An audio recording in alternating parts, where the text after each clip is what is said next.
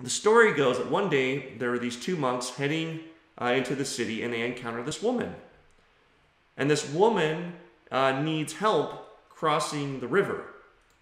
And one of the monks decides, out of an act of you know generosity or you know whatever, to pick her up, you know, without even thinking about it, to pick her up and carry her across the river. And they get done with this, and the other monk was just disgusted.